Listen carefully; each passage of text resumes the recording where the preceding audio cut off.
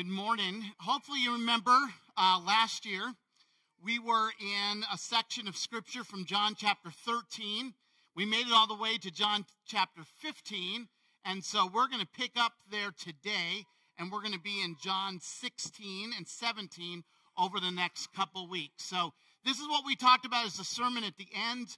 We've been looking at the Sermon on the Mount. The Sermon on the Mount is the sermon at the beginning, and this kind of sermon at the end. This is the last words of Jesus before he is arrested and taken to the cross. So that's where we're going to be, John 13 through 17, but specifically, we're going to be in John 16 and 17 to finish up this section. You might also want to put your finger in 1 Peter 3 because we're going to go there today based on what Jesus is talking about and what he wants us to consider today. And it's a fun topic, right? I just, you know, you can't pick this stuff, right? It's a Super Bowl Sunday. Everybody's rooting for their team, right? It's supposed to be exciting. You know what we're going to talk about? Persecution, okay? I guess we could say some of you are going to feel that after the game. I don't know, right? You're going to be on going, oh, don't, don't pick on me. I know they lost. I don't want to talk about it, okay? Maybe, okay? I don't know. I'm looking for, for something here because uh, I'm, I'm like, really? There's the topic this morning. So, uh, John 16, the first four verses is all we're going to look at this morning. But these are some really powerful things. Jesus knows what's about to happen. He knows what's going to happen to his followers, and maybe now more than ever. He's talked about persecution before in the Sermon on the Mount. He said, Blessed are those who are persecuted for my name's sake. So he's talked about it before, but now he's really going to tell them, Hey, you are you prepared? Are you prepared? Listen, this is coming. This is going to happen. Are you prepared for that? So here it goes. I have told you all these things so that you will not fall away. Because that's what he's concerned about. If you get persecuted, if, if you are being challenged because you believe in me and follow me, you'll fall away. You'll be like, out of here. There's something better to give my life to than this, okay? If this is what I'm going to face. So he's like, just understand, I want you to be prepared so that you don't fall away. He starts, he says, they will put you out of the synagogue. Okay? They're going to kick you out. No, you follow this. What? No, no, no, no. We got rid of Jesus. We got rid of Jesus. We crucified him, okay? We got rid of him. And he, he says, no, they're going to put you out. They're going to put you out. They're going to say, no, you can't follow him. That was a fake Messiah. He was not real, okay? No, if you're going to bring Jesus in here, nope, nope. And we're going to throw you out. He's like, that's going to happen. You better be prepared. And in fact, what's fascinating is you can read the book of Acts and see that's exactly what happened to him. That's exactly what took place. Quite often, they would show up at the synagogue and they would preach and they would declare, and there they go, they're getting kicked out. That's what's happening. That's what's taking place. So he says, I've told you these things so that you won't fall away. You need to know they're going to put you out of the synagogue. Okay? And just because he wants to up the mood in the room, he says, Yet a time is coming when the one who kills you, can you imagine what that was like? Kill, did he just say kill? Did he say kill? Did he say we could die for this? What?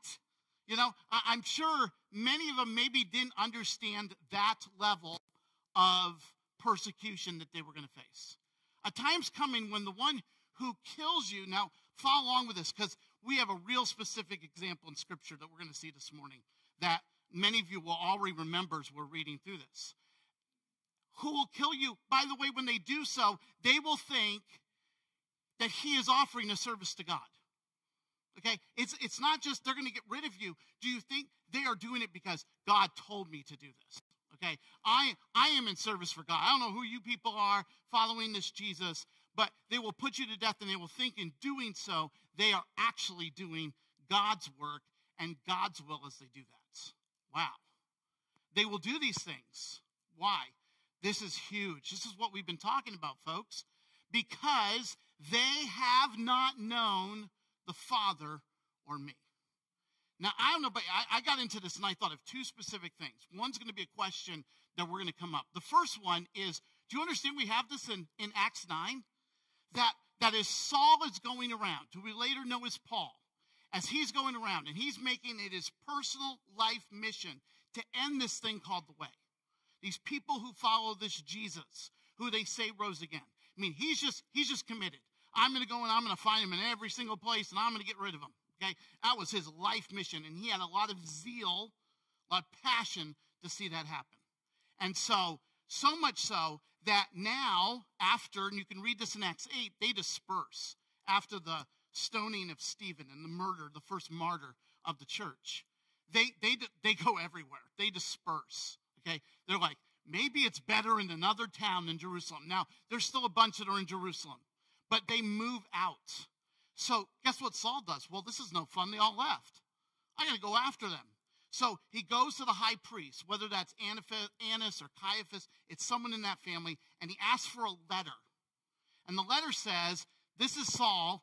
Give him what he wants. Okay? He has rights to go into the synagogue, he has rights to fight followers of this way, of this Jesus, and to go take care of them. Okay? And that's his letter. And that's what he's doing as he's going to Damascus that day. I got my letter in hand. I'm going to find all these people. It's not good enough that you left Jerusalem. I'm going to hunt you down. I mean, that's this guy's mindset as he is on the road to Damascus and Jesus shows up and boom, no, no, stop. Do you ever notice what he said? Okay, Saul, Saul, why are you persecuting me? These are the words of Jesus. You ever notice what he says right after that? What's the first thing out of his mouth? Who are you? Can we go back? Because what does he just say? They will do these things because they have not known the Father or me. And that's all the proof you need to know. That the first thing out of his mouth is, Well, who are you? Who are you that is stopping me dead in my tracks? That's saying, Stop. Who are you? Because I don't know who you are. He doesn't know who he is. It's like, wow. Now, I'm just going to tell you, this brings up a disturbing question that you might not like to ask, but it's going to be really important to ask. Because the question is going to be this, okay? Uh, and it goes right along with our, our, our verse this year. What do we want to do? We want to know the Lord Jesus more intimately. Why? Do we know what we're capable? Look, look at this. They will do these things because they don't know the Father or me.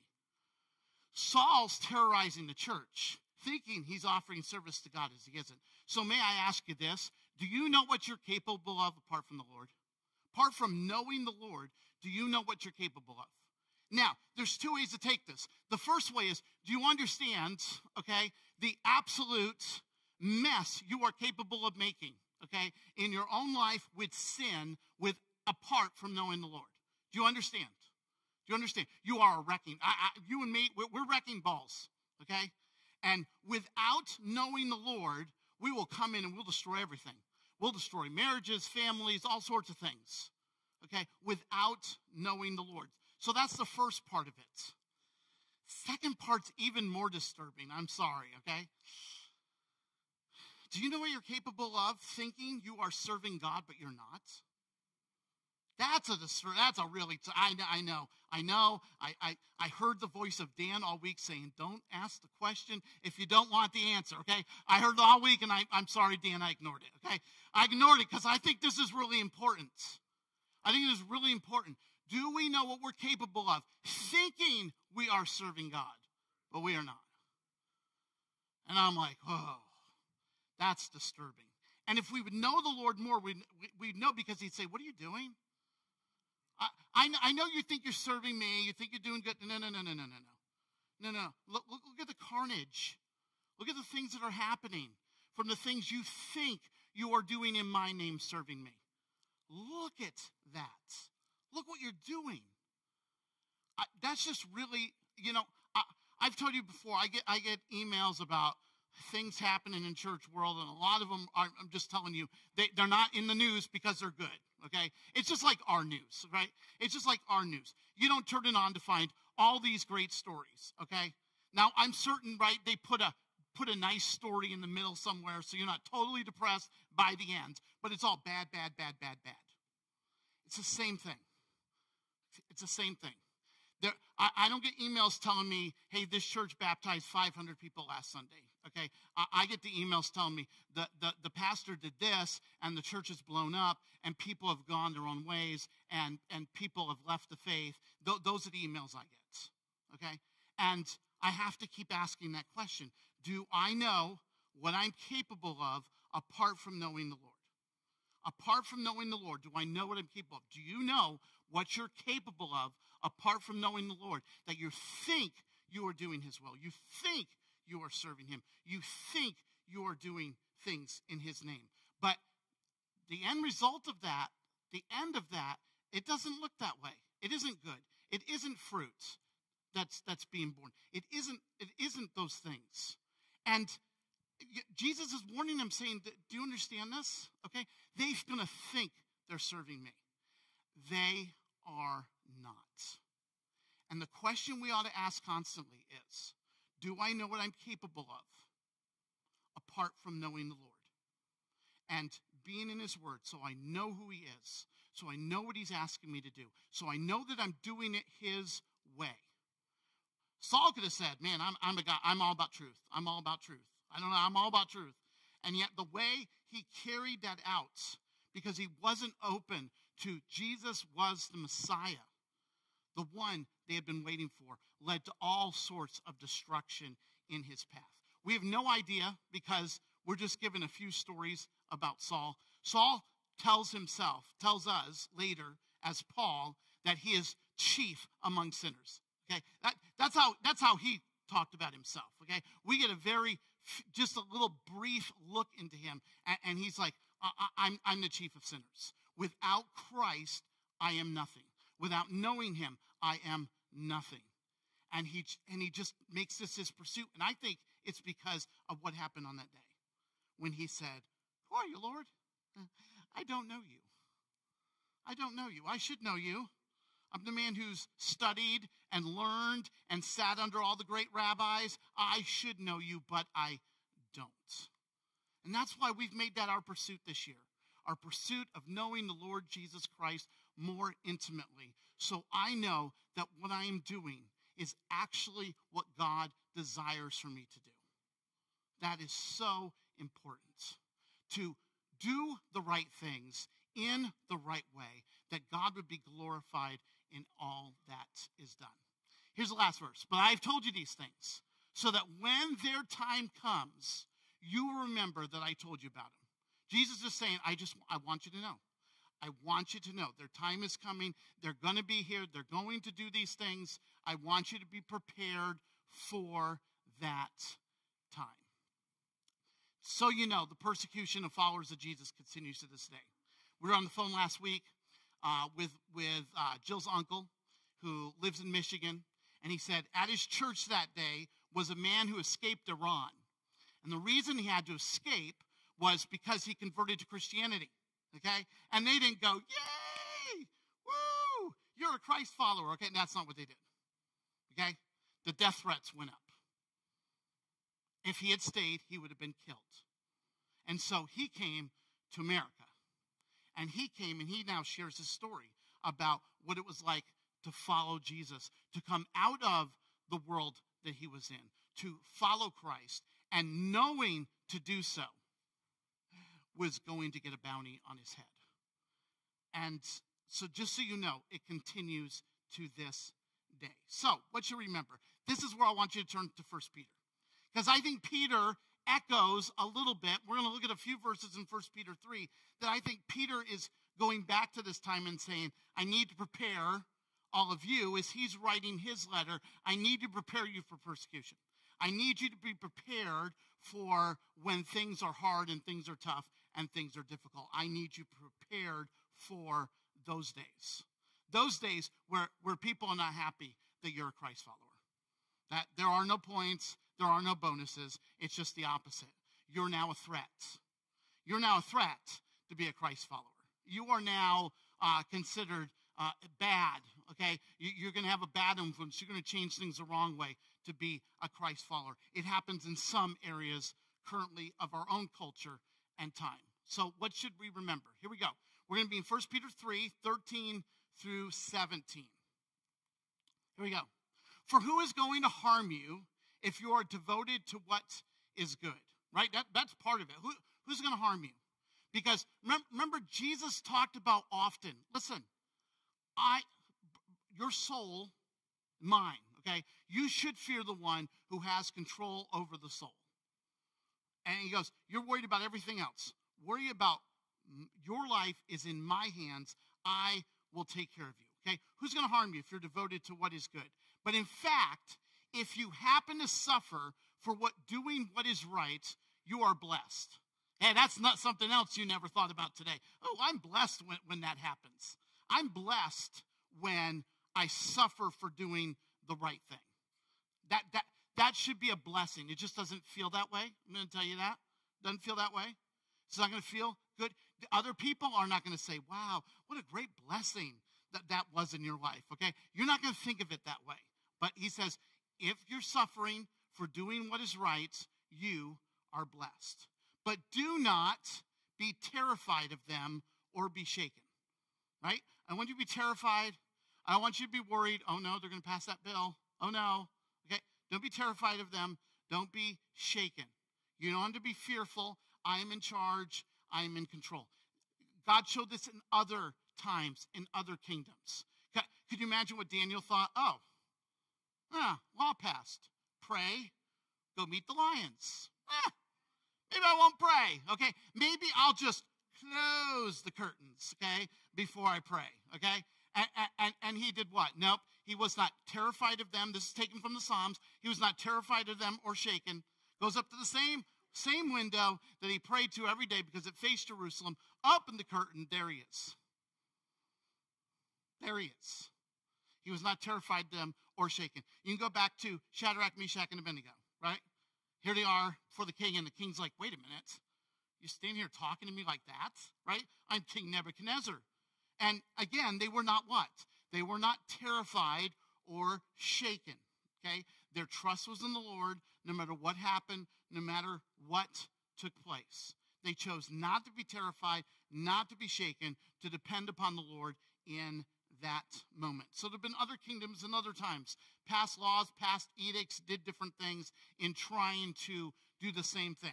Bring about fear, shaken, making you uh, fearful to do what they want. And I'm telling you, if you've not understood this yet, fear is the tool of the enemy all the time. If he can get us scared, he can get us to do things we would not normally do. So that's what his goal is. Get us terrified, get us shaken, get us to do things we wouldn't normally do. But, he says, set Christ apart as Lord in your hearts. Okay? Set him apart. He is Lord. He is your Lord. Okay? I know you're going to live in kingdoms because why, why are you saying he is Lord in your heart? Because a lot of times the kingdom you live in, he is not Lord. He's not. He is not the Lord of the kingdom and the world in which we live. So set him apart that in your life he is Lord. And by the way, when you do that, always be ready. And I love this. Okay, this this is a tremendous verse. Many of you have many of you have heard it before. I wanted you to see it in the context it was in. It's in a very different context than we might talk about or think about. Set apart Christ as Lord in your hearts and always be ready to do what? To give an answer to anyone who asks about the hope you possess. Oh. Yeah, right? That's the apologetic. For, wait a minute. That's the apologetic verse, right? That's the verse where we study and we have all these arguments. So, so I can argue with somebody about, oh no, that's wrong, and that's not even in its context. That's why I always tell you, a verse in its context is always more powerful than anything else we do with it. This is like the verse to go learn all this stuff so you can have arguments with people. And that's not even its context. Its context is sometimes you're going to suffer and you have a chance to actually portray hope in the midst of that. And so, guess what they're going to do? Well, you better be ready to give an answer because somebody say, wait a minute, how, how, how is that? How, is that? how are you that hopeful about what you're going through? Oh, now you can give an answer about the hope you possess. Again, it's so much better in its context. Because it's like, oh, there's going to be times when I suffer. There's going to be times when things don't go. And thing, there's going to be pressure, whether I'm going to follow Jesus or not, but I'm going to set him apart as Lord. And then I'm going to be ready to give an answer about the hope that I possess. Yet, oh, this is huge. There's a yet. There's a yet. There's, there, this is really important, okay? It's not, I can just get in arguments with everybody. Oh, look at this. Yet do it. Oh, oh, there's a way I should do it as well. Yes. With courtesy and respect, keeping a good conscience. So that, right? Well, why am I doing it that way? Why can't I just yell at the person? Why can't I just go on Facebook, right? And just have a nice long post, right? And feel better when I click send. Ah, I feel better. Man, that just made my day doing that, right? Why can't I do that? So that, right? Because the result, what, what might God do with that is, is a result. So that those who slander your good conduct, right? Those people who are who are you, you Christian, you terrible, you hate everybody, you hate all these people. So that those who slander your good conduct in Christ may be put to shame when they accuse you. So they might look and say, You accuse that person? Do you understand? This happened in the early church. In fact, uh, there's, there's a great uh, bit of antiquities, probably written in the second century, uh, by a guy called Pliny, okay? Uh, right, just, uh, right, what a wonderful name. Don't name your kids that, okay? Uh, Pliny. Pliny writes this little thing, and, and, and he's told to go report about the church. So guess what he does? Now he doesn't get to walk into a building like this. He probably walked in the home. Hey, Pliny's here. Wow. Hey, Pliny, come and sit down, okay? And he's sitting there, and they're singing, and he, he listens to everything. Listens to the messages shared, the prayers that are going on. And so he has to write back and like, these are the best people I've ever seen. What are we doing?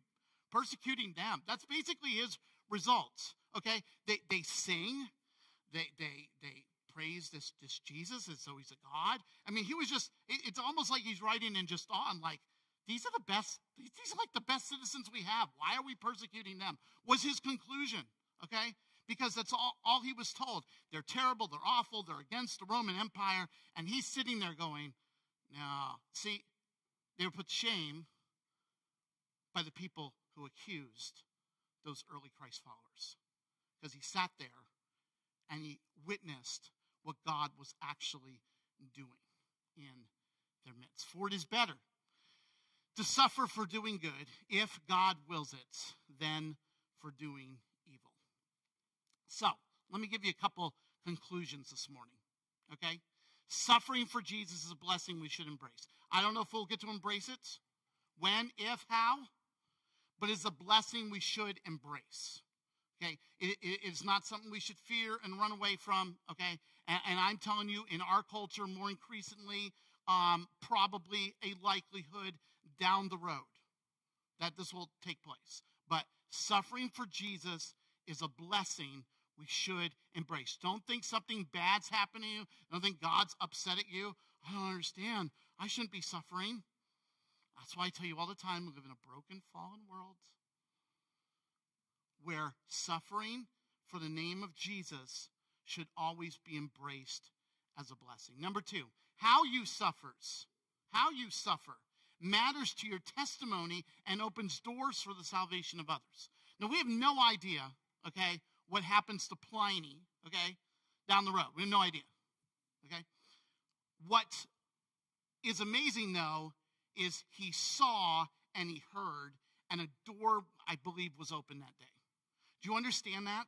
That's why he says you're going to have opportunities to share the hope that is within you. And the way you do it matters. Why? Because it matters to your testimony about who you are.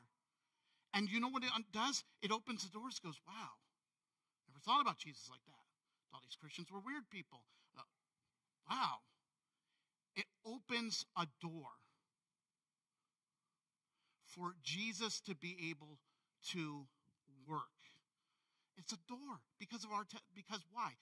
Simply by the way we did things, the way we answered, set up the testimony of our life of what we have done.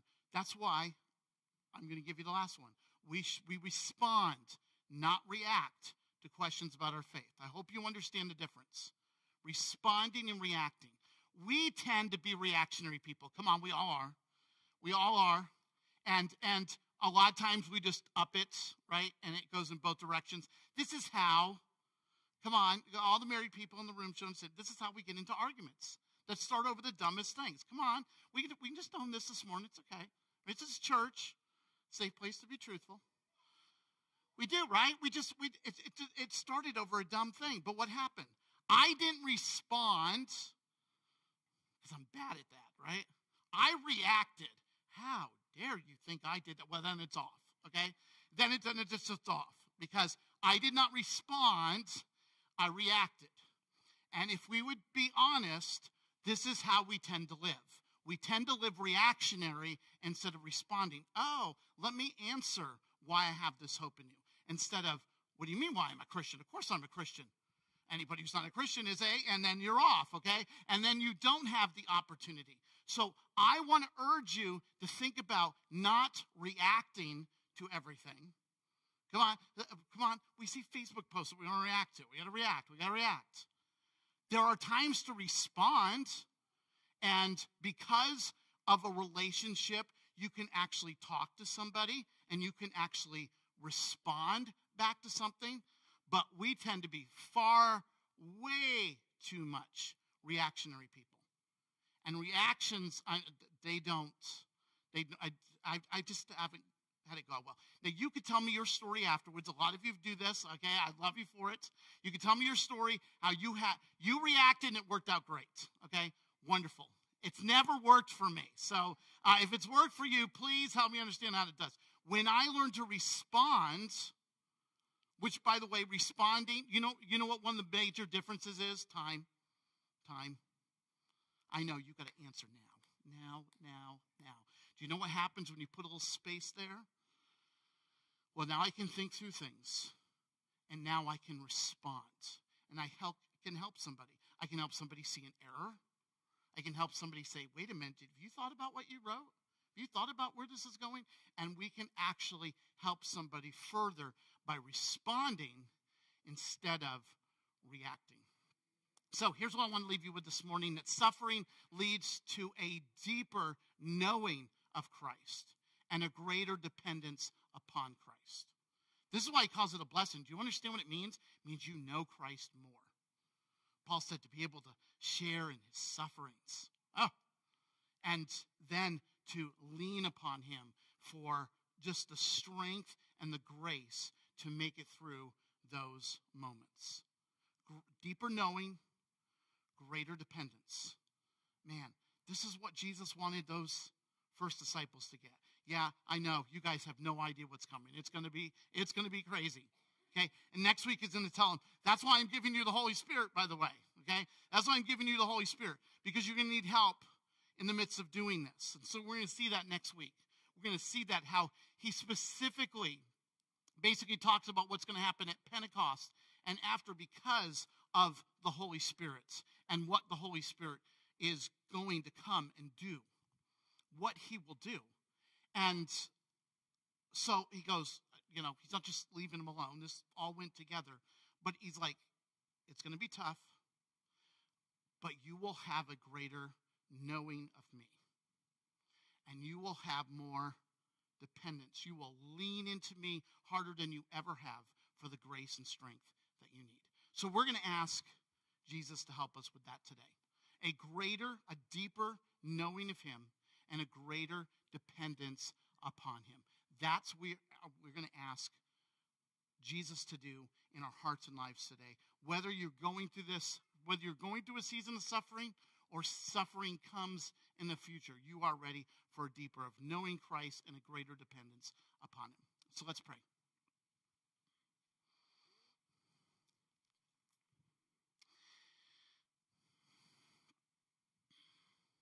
Heavenly Father, on that night, on that night, Jesus, with those men, you tried to help them to be ready for a world that would not embrace the message of the cross and the empty tomb.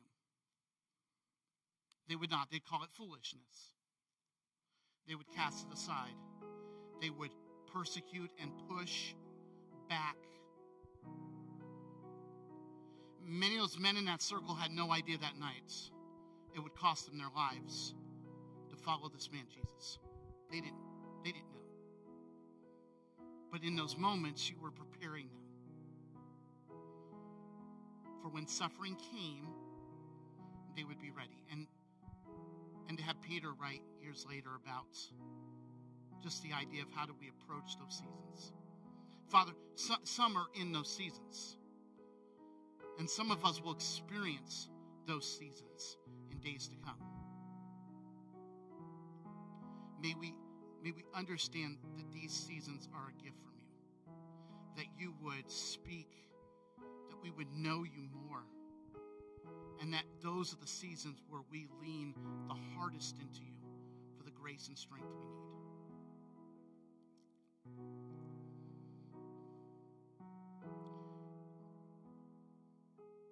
Jesus, what a greater gift than to be able to suffer for your name. May work and move in our hearts and our lives. In Jesus' name.